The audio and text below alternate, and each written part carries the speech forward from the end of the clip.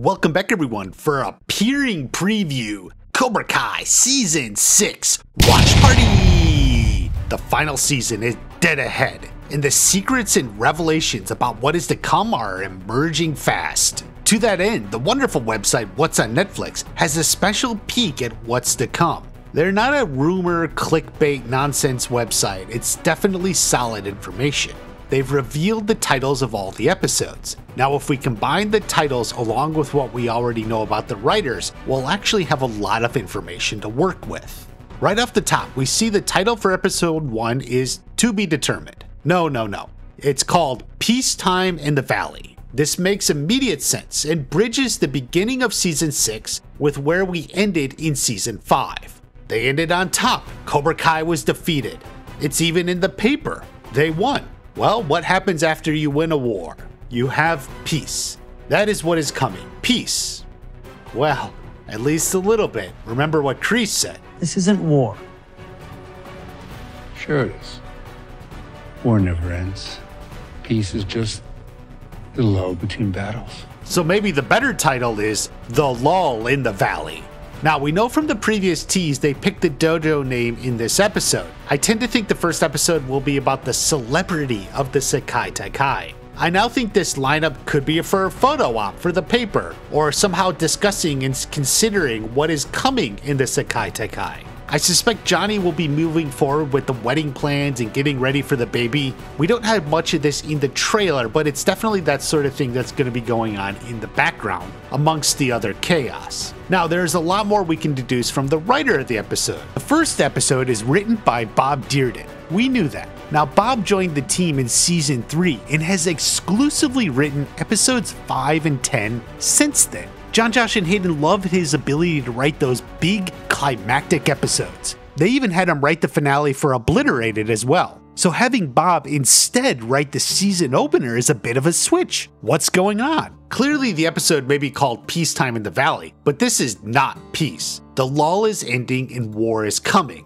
We have direct evidence of all this too. Last year during the strike, Billy was at a convention and gave this nugget to the fans just out of the gun, the scripts are insane. The fight, like the first episode has a mega fight, two huge mega fights, but they're really meaningful. That is certainly something worth noting. While every season kicks off with a fight, it's usually a mid level importance at most. Season 3 just had Miguel fighting in his dream. He won that, but it wasn't exactly real. Season 4 had the play fight at the new combined dojos. There were other intense fights. The original fight with Johnny is a classic, and I really love the beach fight in season 5. But the fights in this episode will definitely be more in line with those bigger, more intense ones, rather than, well, that.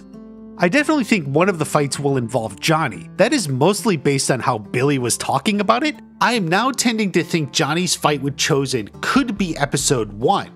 The biggest clue is Johnny is still in his red eagle fang gi, in the later seasons, he's changed. Also, Chozen is there. He is strangely absent in the later scenes in the trailer. Something is up.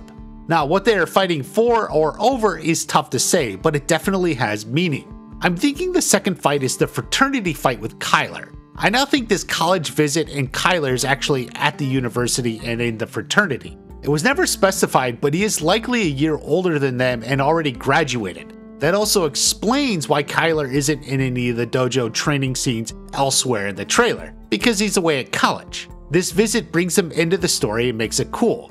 It'll definitely be a great fight. And we also know it's probably episode 1 because Hawk hasn't changed his hair yet. So that all sort of lines up. Now, moving on to episode 2. That is called The Prize. Now that seems to be a little unclear. What? What is the prize? Presumably, it would be with the Sekai Taikai. Now, we actually got some hints last year. I heard last year's winner did a big car commercial in Taiwan. We're gonna be Insta famous. Well, being in commercials and famous on Instagram is definitely a prize, though I think that is at most only part of it. You strongly suspect the prize may be more important over at Kim Da Eun's Dojang back in Korea. It's likely she and Kreese are here in episode 2, and they're discussing the prize for them and their students. It's the legacy for sure, but that was the motivation for her. What is his motivation? He is not in metropolitan area of Los Angeles. He can make a name for himself on the world stage. His training will take him big time in a way he never imagined. But again, what can we find out from the writers? Now, if you didn't know, Joe and Luan are my favorite writers on the show. They've been there since the beginning and have written some of the best episodes. You know who lives like that? Hookers. Yeah, but he's not that bad of a guy. You gotta give him a chance. You you don't know him like I do. Up, that's hooker talk. From the starting gates, their episodes have popped. If you want to be something other than a nerd with a scar on his lip, you gotta flip the script, okay? And of course, everyone's favorite line from season 4 Sir, your dominance. Where the hell were you? No be there. That's all from their scripts. If you look deeper, you'll see their focus is often on the major Johnny and Daniel episodes. Perhaps even more broadly, I would say their episodes mostly deal with the older cast rather than the younger cast, although obviously the younger cast is still there in part of the story. That is why I strongly suspect episode 2 will be Kreese and Kim Da-eun heavy. This is where we see the rebirth of Cobra Kai. Now, episode 3 is called Sleeper, and this will definitely be a sleeper hit. Aha. Okay, right off the top, Sleeper. Can you say pillow fight? This is definitely episode 3 material. Consider that part 1 will start big and certainly end big. That means episode 3 has to be the breather episode. It's where they have a little comedy and the stakes aren't quite as high, at least not at first sight. So maybe there's something of a slumber party or similar. I tend to think the baby shower could be in episode 3. It sort of makes sense for all these events to be going on around the same thing. That also means Johnny's late night training session with the girls would be going on through this. Notice the conflict between them. That shows the stakes are different, like I said. It's not someone trying to kick your ass, but these are the interpersonal conflicts that are flaring up amongst the students. I tend to think sleepers could also refer to Kim Da-eun's dojang back in Korea. They are the sleeper threat, the one you aren't thinking about, the one that sneaks up on you. Perhaps the end of this episode is when Daniel and Johnny learn they're still out there and will be competing in the tournament. That sort of ending would set up the final two episodes of part one nicely. The threat has woken up, so to speak. Now, when we look at the writer of this episode, we have another huge clue. Matea Green. She joined the show in season 2 and moved to staff writer in season 3. Her episodes tend to be the lighter episodes, also a little more emphasis on the comedy. This makes sense in the structure of the season as well as part 1. Now that the main story has been established for the season, it's time for a slight shift in tone, a lighter tone that develops the story more broadly. Think about season 4, the change in the All Valley tournament led to all the dojos scrambling to prepare for what is ahead. It's also worth noting she wrote one of my favorite lines from season 4. Manna from heaven, baby. Episode 3 will likely be the same. We will learn more about how the Sekai Taikai operates and the dojos will be preparing. So, episode 4 is titled Underdogs. Oh boy, what a doozy. Well, we know one thing off the top, it's written by Chris Rafferty, and he confirmed the Mike Barnes scene is in this episode. So, this episode is all about Mike fucking Barnes. we know immediately he is running trials to prepare them for the Sekai Taikai, as well as eliminate who isn't ready. This is why it's certainly called underdogs. Will the underdogs have a shot? This is likely when and why we see such a fierce, determined Demetri. Look at him. He is the pinnacle of the underdog who's almost good enough. He made the semifinals, he held his own in a fight, but he's not as good as Robbie or Miguel. But maybe, just maybe, if he works his ass off, he can impress Mike fucking Barnes and make the final cut.